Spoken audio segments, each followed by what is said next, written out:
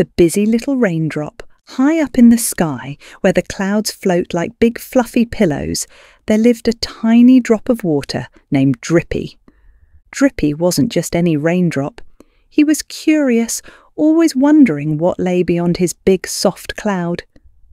Every day he'd peek over the edge and watch the world below. The green hills, the rivers that shimmered like ribbons, and the children who played in the fields.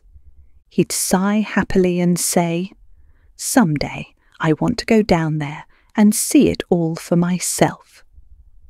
One morning, the cloud around Drippy began to feel heavy. Hmm, what's happening? he asked his friend Splasher. Splasher giggled. We're filling up with water. The air's getting cooler. I think it's almost time. Time for what? Drippy asked, his little eyes wide with excitement. Before Splasher could answer, the whole cloud began to rumble. The white fluff turned grey, and lightning flashed softly across the sky. Oh! gasped Drippy, bouncing in surprise. Then, without warning, whoosh! He slipped right out of the cloud and started falling. Down, down, down he went, tumbling through the air. The wind rushed past his round little face, and he couldn't help laughing. Whee! I'm flying! Drippy shouted, spinning through the mist. Below, the earth grew bigger and greener. He zipped past a bird who squawked in surprise. Watch where you're falling, the bird called. Sorry, giggled Drippy as he zoomed past. Finally, with a happy plop, Drippy landed in a shiny puddle beside a park bench. He looked around in wonder. Everything sparkled the grass, the trees, even the little puddles nearby. Children splashed their boots in the water, laughing and spinning around. This is amazing, said Drippy. So this is what the world looks like. As the rain slowed, the puddle started to shrink. Tiny streams of water trickled away across the ground. Drippy felt himself being pulled along. Hey! Where am I going now? he said, letting the current carry him. He wiggled past pebbles and blades of grass until he joined a narrow stream that flowed between the trees. The sunlight shone through the branches, and Drippy floated gently with the water. He saw frogs sitting on lily pads, dragonflies darting above him, and a family of ducks splashing in the shallows. This is wonderful, Drippy whispered. Everywhere I go, there's something new to see. The stream grew wider and faster. The water swirled around rocks and twigs, bubbling as it flowed. Soon Drippy found himself in a big river, wide, bright, and full of life. The river sparkled under the afternoon sun. Fish swam beneath him, and boats drifted lazily on the surface. Drippy smiled. There are so many of us here. We're all part of something bigger. Days passed. The river carried Drippy through valleys and forests, past towns and fields, until the water began to smell salty and the waves grew strong. And then there it was, the ocean, vast, blue, endless. Drippy gasped, Wow, this is the biggest thing I've ever seen. He floated on the waves, watching dolphins leap in the distance. A friendly turtle swam by, nodding hello. Welcome to the sea, said the turtle kindly. You raindrops always find your way here eventually. Drippy beamed. It's beautiful. He spent many days in the ocean, drifting through coral reefs, watching schools of fish shimmer like rainbows. Sometimes he'd sink deep below, where the water was cool and dark.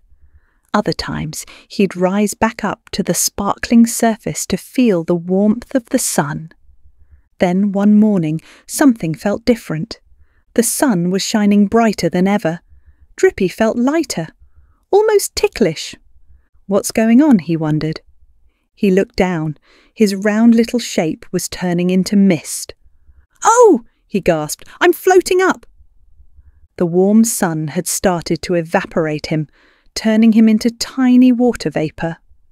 Slowly, gently, he rose into the sky once more.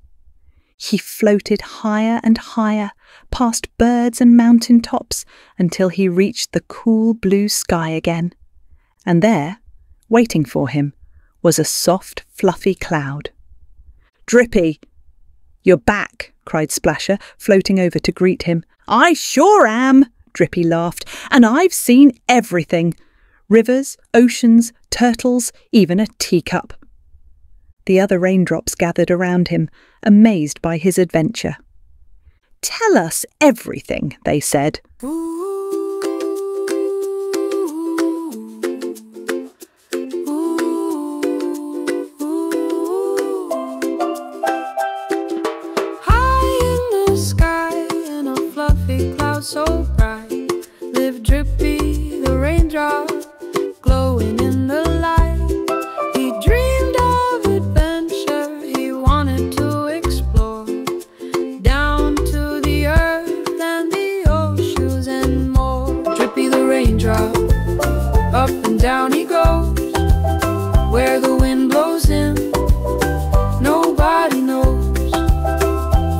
clouds to rivers, from sea to sky. The water cycle lifts him high. He splashed in a puddle, he flowed in a stream. He danced with the fish in a world like a dream. Then warm sunshine lifted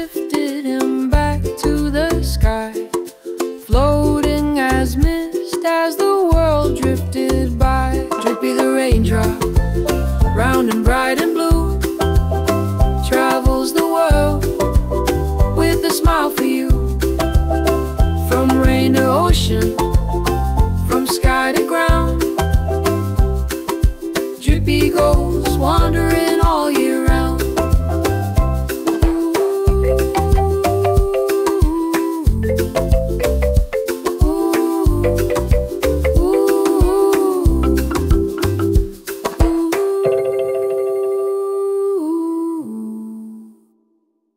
So Drippy told them stories about puddles and rivers, about the dolphins in the sea, and about how warm the sunshine felt when he began to rise again.